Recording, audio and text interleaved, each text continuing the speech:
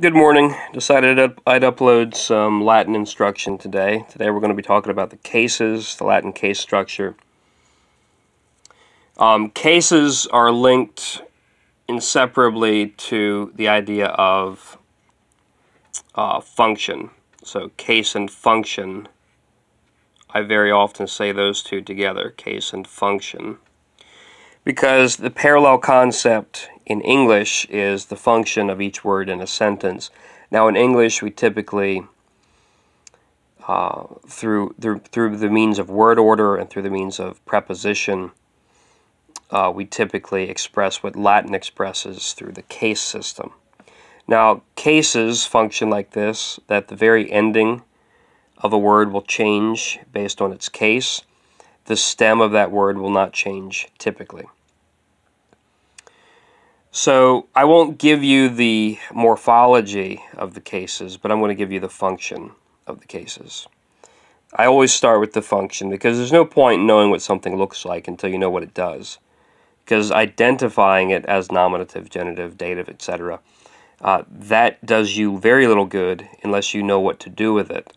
So you need to be able to learn how to translate Latin case structure into English sentence structure which means uh, knowing what is a subject, what is a direct object, what's an indirect object, what prepositions to use in front of what, so on and so forth. So I have to move quickly. My video, um, the, the, the, space left on my device won't allow for more than about 12 or 13 minutes of video. So very quickly, the nominative is the subject of the sentence colloquially we call it a the doer. The doer of the verb.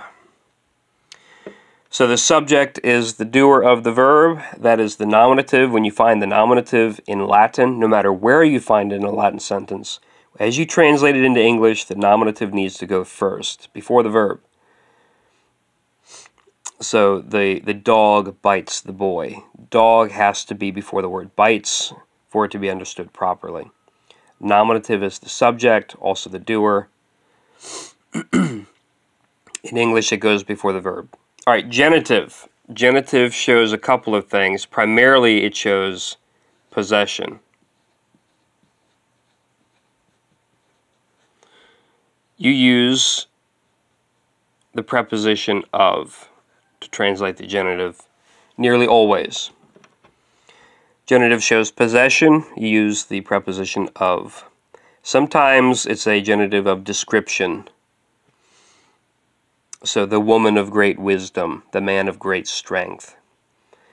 Still, you're going to translate it with an of, and still you can conceive of it as possession, because the man possesses the strength, the woman possesses the wisdom.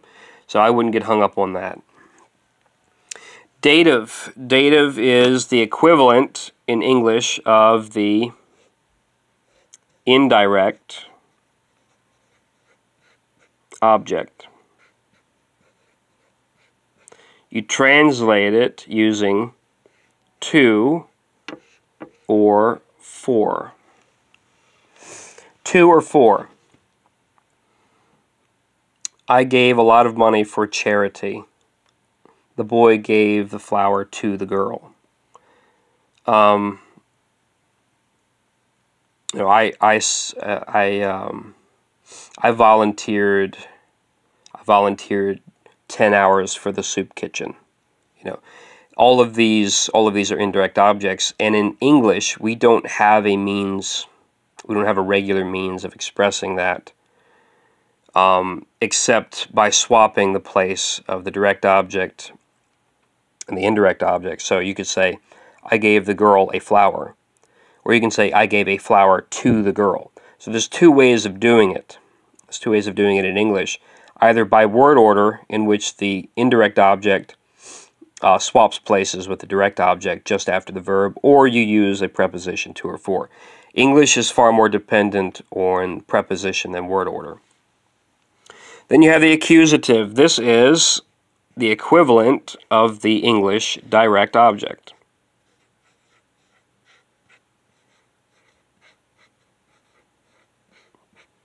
Typically, it just comes after the verb. So the boy kicks the can. The can is the direct object. Um, you could simply say that. Well, I, I won't I won't give any instruction here. There's not enough space. In a normal English translation, the accusative will fall just after the verb, and so the sentence structure for English is uh, subject, verb, direct object. That's that's the standard construct. Subject, verb, direct object. If you keep that system, if you keep that in the forefront of your mind, and that's how you conduct your translations, other things, other things like prepositional phrases, um, ablatives of time, they will fit wherever they sound good. But you need to keep in mind it's going to be subject, verb, direct object for your English. Now, ablative. This is a wild card because ablative. Oh, we, we call this a couple of things. I say very often this shows means or manner. Means he strikes the nail with a hammer. That's the means. Manner he struck the nail in anger or he punched the door in anger. That's the manner. Both of those would be in the ablative.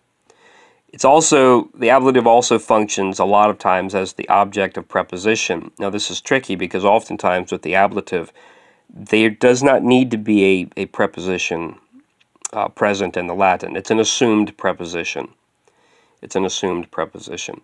And when you translate these, you translate them typically with the preposition and you just stick them where they sound good. So you could you could say with a hammer I struck the nail or you could say I struck the nail with a hammer. And it doesn't matter. It doesn't make any difference to the meaning of the sentence. It's just a matter of what sounds what sounds better, what sounds more colloquial versus more poetic. Uh, you could even begin to sound like Yoda if you're not careful. But ablative shows means or manner. Um, I would say secondarily, it's the it's the case of case of preposition. But again, preposition will not always be present. Sometimes it's an assumed preposition. And typically you'll try a couple. You'll try with, by, from, or in. With, by, from, or in, 99% of all cases that will cover uh, what is attempting to be translated, what is, what is attempting to be expressed by the writer. Then you have the vocative. Vocative is almost never uh, morphologically different than nominative. That is, the cases began to collapse at some point before recorded history. And by the time we get written Latin, uh, nominative and vocative have almost collapsed into one another so that they're not morphologically different. Now, before then, the locative and the, and the genitive had more or less collapsed into one another. And then the instrumental and the ablative had already collapsed. The nominative and the vocative are in the process of collapsing into one another morphologically. That is, you cannot tell by looking at the word uh, what it is. The only time the vocative differs in its morphology is in the masculine singular of the US and the IUS ending. So if you wanted to say in the vocative servus, you would say serve in the vocative. That's slave. So, you know, the, the slave uh, plows the field would appear differently than, hey, you slave. It would appear differently because the vocative is the case of the direct address. So if you call somebody directly by name or title, it'll go into the vocative. Now, it's not necessarily important to know this, and so some curriculums downplay the vocative. The only time it really matters uh, morphologically, as I said, is when it's in the masculine uh, vocative singular with the ending of us or ius. So, like Julius, as in Julius Caesar, would not be Julius in the vocative, it would be Juli. Uh, servus, as in slave, in the vocative would be serve. So you will knock off the ending and add either an E or retain an I. So that's neither here nor there. Um, direct address is signified oftentimes by being prefixed by an O, as in the English O. O Fortuna, O Danny Boy. Uh, when you say O before a name or title, like Oh Captain, my Captain, that's the vocative in English. That's how you will typically uh, express it in English if you want to be very explicit. If you don't want to be so explicit, the, the context gives it away. I'd say that's true in Latin as well. Oftentimes you end up with what looks like an extra nominative. Uh, it's very possible that that is a vocative. So uh, be careful if you end up with extra nominatives floating around. It's, it's a good chance it's going to be a vocative. Although vocatives are very often in Latin set off by one of these, uh, you could say, uh, preparatory, preparatory statements like O. All right, that is the case structure in Latin. That is the function of each of the cases in Latin. And if you know what these functions are in relationship to the titles, then when we when we begin to give forms, morphological forms to each of these nominative, genitive, dative, accusative, ablative, vocative, you can begin to associate morphological forms with function. And the problem with most Latin instruction is that you learn the morphological forms, but you do not learn the function. It is not expressly taught, typically. Um, Wheelock's Latin does a good job of teaching that expressly, but it's in like the first or second chapter. And unless you were paying really close attention at the beginning of, the, of, of your studies, you know, by the middle of your studies, you probably have forgotten this. So this is good review, possibly a good introduction to whoever wants to know. Um, I can keep these coming if it's helpful to anyone. If you all like this material, I can keep these coming. I can jump into the morphology of the five declensions. We can talk about conjugation, verbal mood, tenses. We can talk about all that. That's my bread and butter. Um, if you do like it, let me know.